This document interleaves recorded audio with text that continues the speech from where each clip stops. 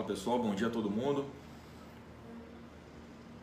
Esperando vocês chegarem o maior número aí na esse nosso bate-papo rápido agora pela manhã. Bom dia André, bom dia Rose, Maite Bianco. Pessoal, é, muito rapidamente a gente tem aí feito de tudo para seguir as regras eleitorais, né, como o próprio ministro do TSE falou recentemente, a gente joga o fair play, né, mas a esquerda continua esperneando, inventando um monte de coisa a nosso respeito e ainda assim nós viramos réus. Né? Então, essa tudo isso que está acontecendo, eu tenho certeza que vocês acompanham isso e percebem com muita clareza também. Né? Nós somos acusados de tudo, tudo de preconceituosos, de intolerantes, de sermos violentos, de pregarmos o ódio. E na verdade nós é que somos as grandes vítimas de sempre. Não preciso nem falar. Né? A gente já levou ovada, purpurinada, cuspe na cara. Meu pai levou uma facada. Ainda assim nós continuamos, eles continuam sustentando que nós é que somos as pessoas violentas. Então eu queria muito rapidamente desmascarar o PT para vocês aqui nessa manhã. Em primeiro lugar, antes de entrar no assunto aí do, dessa ação aloprada do Haddad, fala do meu caso específico, do meu WhatsApp.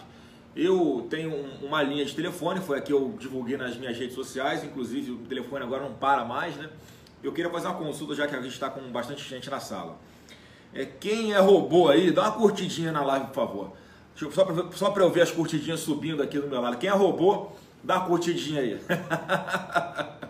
Agora, quem é caixa 2? Quem é caixa 2, Bota no coraçãozinho para eu ver quem é caixa 2. Caixa 2, galera, galera que é caixa 2, dá uma curtida também aí no, coraçãozinho. então, pessoal, os caras estão desesperados, é, tentam aí desqualificar todos vocês. O, o Jair teve quase 50 milhões de votos, sem fake news, só mostrando a verdade sobre o que é esse lixo do PT, o que é esse lixo dessas bandeiras que eles levantam. Então, os 49 milhões, quase 50 milhões de votos foram, obviamente, contra essa forma corrupta que eles imprimiram aqui de governar o nosso país, né, de respeitar as crianças em sala de aula, de tratar bandido com carinho, flores e pombinhas da paz, que geraram aí pela incompetência e pela, pela corrupção milhões de desempregados. Foi por isso que o brasileiro foi lá e deu a resposta nas urnas, quase 50 milhões de votos para o Jair Bolsonaro já no primeiro turno. Mas o meu caso específico, eu tenho uma linha de WhatsApp e, de, e como é que funciona? Eu não crio grupos de WhatsApp. O meu número é colocado de uma forma totalmente a minha revelia em vários grupos, em milhares de grupos de WhatsApp. Eu fico feliz por isso, que é que as pessoas querem interagir com a gente. Eu agradeço a todos vocês que incluíram o, esse meu número no grupo de vocês de uma forma totalmente espontânea, voluntária, totalmente descentralizada. A nossa campanha foi assim não tinha um comitê único, é, ou então vários comitês, não tinha vários comitês espalhados pelo Rio de Janeiro, já que eu sou do Rio, ou em outros estados também. Os nossos candidatos é que levaram o nosso material de campanha, né, com o nosso nome e número junto. Vocês é que organizaram diversos atos totalmente voluntários também e foram maravilhosos em cada recanto do nosso Brasil, não apenas nas, nas, grandes, nas grandes cidades e nas capitais. E aí esse meu número foi, eu não estava nem conseguindo mais acessar ele, gente. De tantos grupos que eu estava, de tantas mensagens, quando eu entrava no WhatsApp, eu tinha dificuldade, o WhatsApp tinha dificuldade até para atualizar. Então já tinha alguns dias que eu não estava nem conseguindo acessar o meu WhatsApp, né? porque não abria mesmo, estava bloqueado, estava travado. Aí quando eu consegui abrir, né, que foi há dois dias, há três dias mais ou menos, apareceu a mensagem que meu número estava banido e segundo o WhatsApp depois eles disseram que estava banido por comportamento de spam eu nem consegui abrir o meu WhatsApp e os caras me baniram por comportamento de spam. Então eu já, já é uma coisa muito suspeita. Olha, por que, que logo o meu número?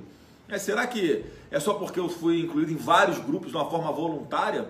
Não sei nem quem são as pessoas, são vocês que fazem a nossa campanha. Eu não conheço todo mundo que está me assistindo nessa live agora, conheço alguns que eu estou vendo passar aqui, alguns conhecidos. A grande maioria eu não sei quem é, não sei onde mora, não sei o que faz da vida, mas são vocês que fazem a nossa campanha. E não é porque acreditam só na gente, não, é porque também acreditam no Brasil. Né? Então, tudo que está acontecendo nessas eleições é em função da grande força que vocês estão dando para o país e para a democracia. Não tem outra explicação. E aí, o meu WhatsApp aconteceu isso, eu publicamente divulguei, eu quero a resposta oficial do WhatsApp. Então, o WhatsApp quase que instantaneamente reativou o meu número. Eu consegui ter acesso ao WhatsApp, mas também já não estou nem conseguindo usar, porque eu já estou em mais, em mais de 6 mil grupos, já fui incluído. Né? Então, assim que eu conseguir é, fazer o meu WhatsApp voltar a funcionar, eu mando a mensagem para ir para vocês, para alguns, né? Já que o próprio WhatsApp, é, aí a gente, eu acredito que é por causa da força do Bolsonaro né, nesse, nessa plataforma, restringiu, por exemplo, o encaminhamento de mensagens a no máximo 20 contatos, alegando estar combatendo a fake news. E a gente sabe que não é isso. Sabe que não tem nada a ver. É para tentar reduzir o alcance dos, dos conteúdos que a gente divulga todos os conteúdos com a verdade. É para combater o PT, não precisa ficar inventando fake news. Os caras estão aí com uma série de problemas, escândalos, o cabeça deles preso por corrupção. A gente não tem que ficar inventando nada. Eles próprios produziram todo esse conteúdo que a gente agora só traz pela internet. Uma verdade, agora a internet sem censura, né, WhatsApp? Para que você quer me censurar? Qual a razão disso? Logo comigo? faltando alguns dias, alguns dias para, as eleições, faltando uma semana e meia, vocês, é, cancelaram, é, baniram o meu número do WhatsApp? Que história é essa? E a grande mídia cobrou uma resposta, o WhatsApp só falou isso, falou que foi banido por comportamento de spam, de um número que eu mal consegui usar. É mentira. Por que, que me baniram? Quero explicação clara para isso. Meu número é, é particular, está aqui, ó. Nunca foi usado para nada, não dei meu número para ninguém, empresa nenhuma usa meu número para nada. Então, por favor, investiguem aí né, os, os, veículos da imprensa, o próprio WhatsApp, porque foi o que aconteceu. Apesar de que o meu WhatsApp está aqui já com o número restituído, apesar de eu também não estar tá conseguindo usar. Eu estou tentando, mas não estou conseguindo né, utilizá-lo ainda. E com relação à ação, que é o título dessa live aí, pessoal, essa armação que o PT está fazendo é muito suspeita. E eu quero que o TSE investigue, inclusive, uma possibilidade. É uma possibilidade, eu tenho direito de imaginar isso se a Folha de São Paulo não está em conluio com o PT para desestabilizar, para desestabilizar as eleições. É uma coisa a ser investigada.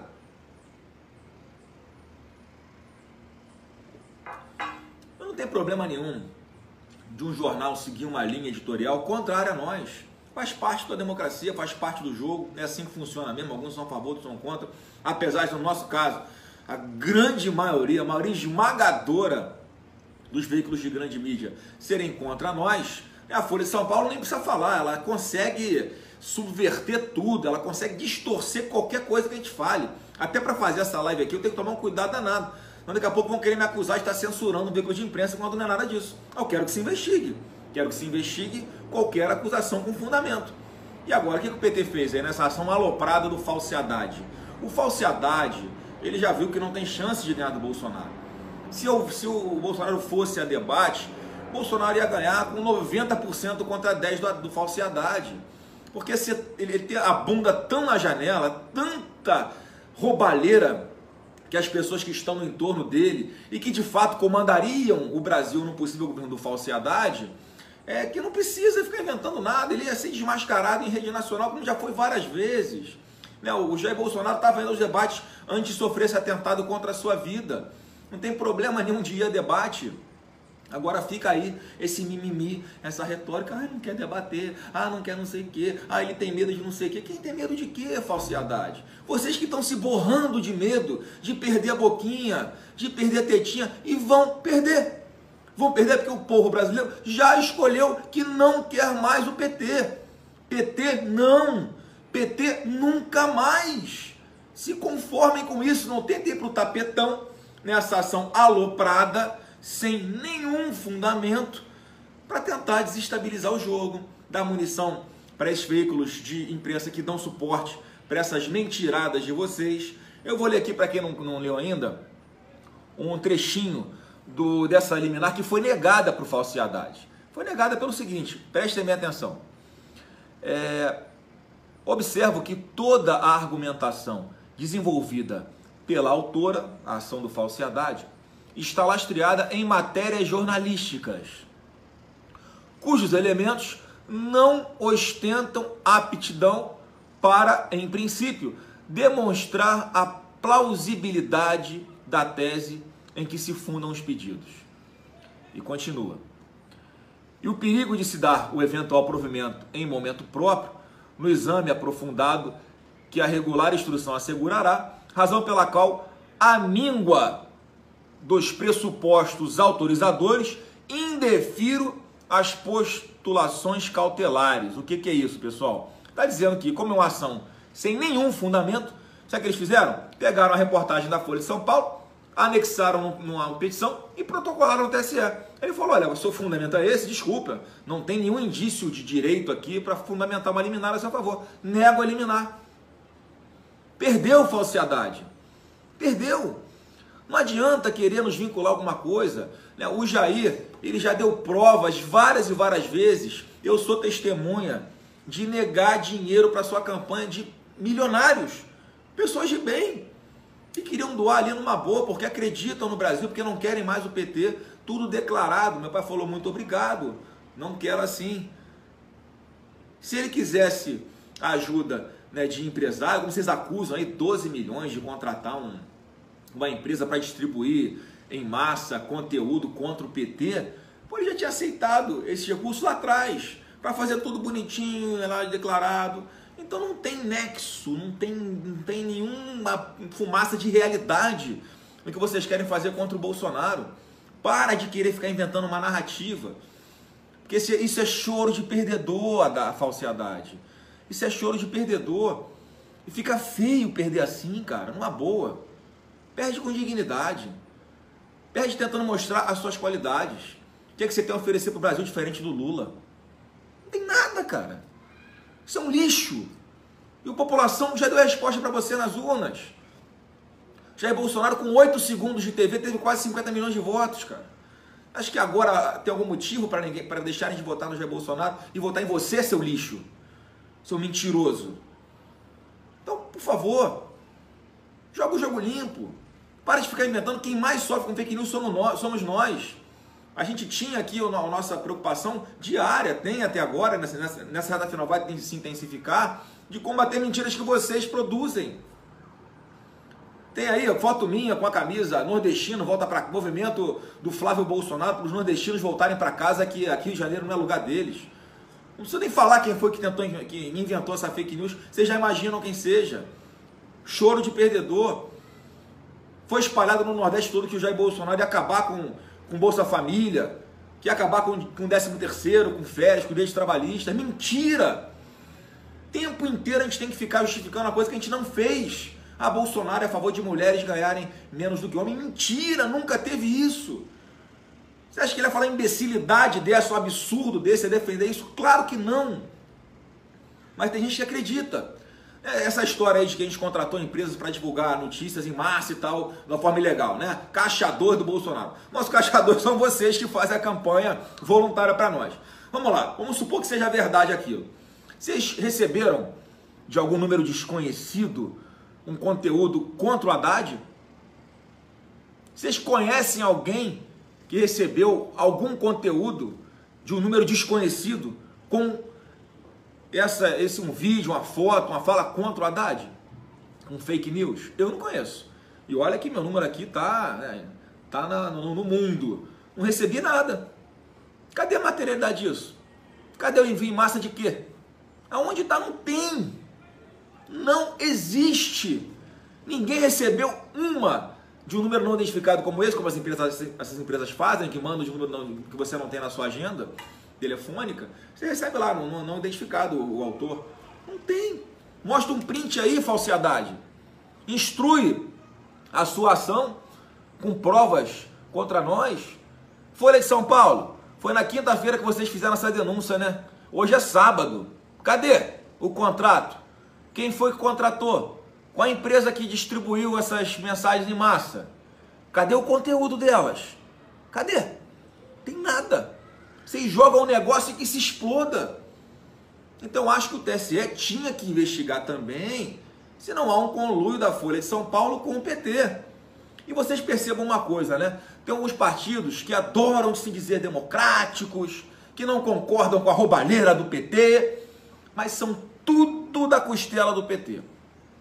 Qual foi a ação que o pessoal entrou? o pessoal entrou com uma ação, segundo o próprio G1, matéria publicada no G1, para suspender o WhatsApp até o domingo das eleições. Por que não foi o PT que entrou? Entra uma linha acessória dele. Para não dar margem, não, você rotulado de estar censurando, de fazer perseguição. Pessoal, quebra o meu galho, entra com a ação você aí. Eles entram, se prestam esse papel por querer censurar o WhatsApp até as eleições. Esses caras dizem, que dizem defender a democracia, você acredita nisso? A liberdade de opinião. Você que trabalha com WhatsApp, por exemplo, tem o seu, o seu ganha-pão com vendas pelo seu WhatsApp. É isso que o pessoal quer fazer, quer acabar com o seu ganha-pão. Você quer se comunicar com a sua família, tem um parente distante para falar pelo WhatsApp, o pessoal quer acabar com a sua comunicação. Tudo por causa de medo de perder o poder. Então percebam quem está incomodando. Aí vem o PDT e entra agora com uma ação para, com base nessa fake news da Folha de São Paulo, tentar tirar o Bolsonaro do segundo turno e botar o Ciro. Caraca, meu irmão, inacreditável. Os caras não têm limite. Que vergonha, PDT. Eu acho que até o Ciro pô, ia ser contra uma ação dessa. Que é vergonhoso. Perde no voto que é ganhar no papetão. Cara, esse, esse maluco não tem limite. Chega a ser engraçado. Chega a ser engraçado. Mas você, mais uma vez, você que, você que é robô aí, dá uma curtidinha para mim, só para ver a quantidade de, de curtida que aparece aqui. Você que é robô ou caixa 2, você escolhe o que, que você quer ser. Cara, ai, obrigado, galera. Não tem, não tem lógica o que eles tentam fazer com a gente. Né, então, com toda tranquilidade, eu venho aqui nessa manhã, com esse sorriso aqui no rosto, né, com essa tranquilidade, para falar para vocês que não existe absolutamente que a gente tenha feito que não siga as regras das eleições. Nós respeitamos a legislação eleitoral. Né? A gente sofre perseguição por parte, por parte de, né, da, de, de, alguns da grande mídia. No entanto, a gente tem isso aqui, ó. Nessa manhã, aí quase 20 mil pessoas bateram um papo comigo na, na manhã, aqui no Rio está um sol, né, pra, porque estão interessados em mudar o Brasil.